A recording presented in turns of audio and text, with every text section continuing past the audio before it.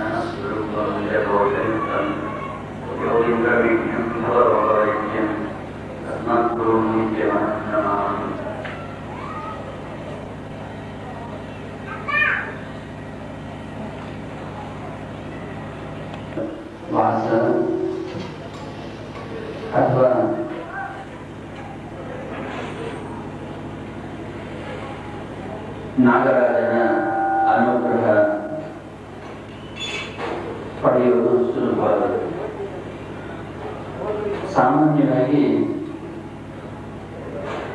ಸರ್ಪಗಳು ವಾಸ ಮಾಡೋದು ಎಲ್ಲೆಂದರೆ ನಿಧಿ ಇರೋ ಕಡೆ ವಾಸ ಮಾಡುತ್ತೆ ಎನ್ನುವುದು ಪ್ರತೀತಿ. ಕೇವಲ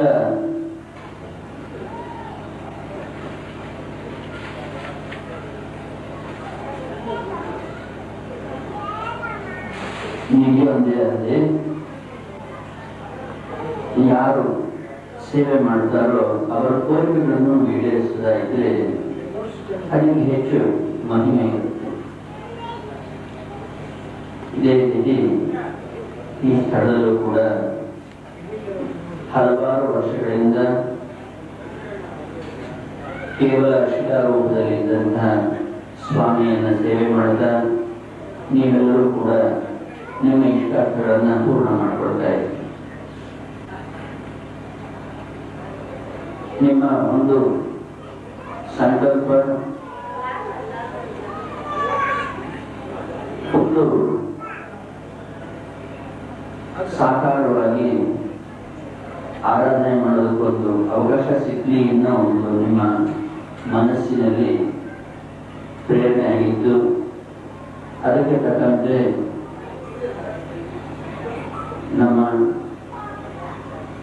ಆತ್ಮೀಯರಾಗಿರುವಂತಹ ಸತೀಶರ ಪೂರ್ವಜರು ಕೂಡ ಸಂಕಲ್ಪ ಮಾಡಿದ್ರು ಅಂತ ಹೇಳಿದ್ರು. ಆ ಸಂಕಲ್ಪವನ್ನ ಇಂದಿಗೆ ಪೂರ್ಣವಾಗುವ ಒಂದು ಸಂದರ್ಭ ಬಂದಿದೆ. ಸಾಮಾನ್ಯವಾಗಿ ದೇವಾಲಯಗಳನ್ನು ನಿರ್ಮಾಣ ಮಾಡೋದು ಬಹಳ ಕಷ್ಟದ ಕೆಲಸ. ಕೇವಲ ಒಬ್ಬರು ನಿರ್ಮಾಣ ಮಾಡಿ ಜವಾಬ್ದಾರಿಯನ್ನ ನಿರ್ವಹಣೆ ಮಾಡೋದಲ್ಲ, ಅದಕ್ಕೆ ಎಲ್ಲ ಸಹಕಾರವೂ ಸಾಮಾನ್ಯವಾಗಿ ದೇವರನ್ನ ಪ್ರತಿಷ್ಠೆ ಮಾಡಿದ ಮೇಲೆ ನೀತಿ ಸೇವೆಗಳು ತಪ್ಪದಂತೆ ನಡೆಯಬೇಕು ಆಗ ಆ ಸ್ವಾಮಿಯು ಕೂಡ ಹೆಚ್ಚು ಪ್ರಸನ್ನನಾಗಿ ತನ್ನ ಪ್ರಭಾವವನ್ನು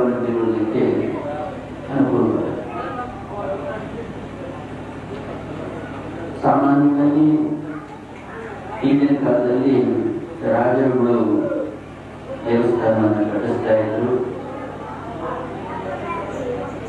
ಶಿಷ್ಯರ ಇದಕ್ಕಾಗಿ ಅಥವಾ ಭಕ್ತರ ಅನುಕೂಲಕ್ಕಾಗಿ ಬಹಳ ವ್ಯವಸ್ಥಿತವಾಗಿ ಶಾಸ್ತ್ರದಲ್ಲೂ ಹೇಳುತ್ತೆ, ದೇವಸ್ಥಾನವನ್ನ ಯಾರು ನಿರ್ಮಾಣ ಮಾಡ್ತಾರೋ ಅವರಿಗೆ ರಾಜಯೋಗ ಬರುತ್ತೆ. ಈ ಶಾಸ್ತ್ರವನ್ನು ಹೇಳೋದು ಹಾಗೂ ಅನುಭವ ಹೊಂದಿರುವುದು ಕೂಡ ಒಂದೇ ರೀತಿಯಾಗಿದೆ. ಈ ರೀತಿ ಈಗ ನೀವೆಲ್ಲರೂ ಕೂಡ ಬಹಳ ಭಕ್ತಿಯಿಂದ, ಶ್ರದ್ಧೆಯಿಂದ ಈ ಕಾರ್ಯಕ್ರಮದಲ್ಲಿ ಭಾಗವಹಿಸಿದ್ದೀರ? ನೀವೆಲ್ಲರೂ ಕೂಡ ಪ್ರತ್ಯಕ್ಷವಾಗಿ ಕಂಡಂತೆ ಇಲ್ಲಿ ಸರ್ಪದ ವಾಸ ಇದೆ. ಆ ಸರ್ಪದ ಅನುಕೂಲದಿಂದ ನಿಮ್ಮ ಕೋರಿಕೆಗಳೆಲ್ಲ ಕೂಡ ಬಹಳ ಶೀಘ್ರದಲ್ಲಿ ಫಲಿತ ನೀಡ್ತಾ ಇದರಿಂದ ಸಂತೋಷವಾಗಿದೆ. ಇದೇ ರೀತಿ ಈಗಲೂ ಕೂಡ ಸಾಕಾರ ರೂಪದಲ್ಲಿರುವಂತಹ ಚನ್ನಕೇಶ ಸ್ವಾಮಿ ಪ್ರತಿನಿತ್ಯವೂ ಕೂಡ ನಿಮ್ಮ ಇಷ್ಟಾರ್ಥಗಳನ್ನು ಪೂರ್ಣ ಮಾಡ್ತಾ ಕೇವಲ ಈ ಪ್ರಾಂತದಲ್ಲದೆ ಬೇರೆ ಪ್ರಾಂತಗಳಿಂದಲೂ ಕೂಡ ಆಕರ್ಷಿತರಾಗುವಂತಹ ಒಂದು ದಿವ್ಯವಾದ ಕ್ಷೇತ್ರಗಳಲ್ಲಿ ಹಾಗೆಯೇ ಇಲ್ಲಿ ಸುತ್ತಮುತ್ತಲೂ ಕೂಡ ಸುವೃಷ್ಟಿಯಾಗಿ ಹೆಚ್ಚು ಸಂತೋಷ ಉಂಟು ಮಾಡುವಂತಹ ಒಂದು ಪ್ರಭಾವ ಉಂಟಾಗಿ ನಾವು ನಮ್ಮ ಆರಾಧ್ಯ ದೇವರನ್ನು ಪ್ರಾರ್ಥನೆ ಮಾಡ್ತಾ ನಿಮ್ಮೆಲ್ಲರನ್ನ ಆಶೀರ್ವದಿಸೋಣ haram arwaji batayin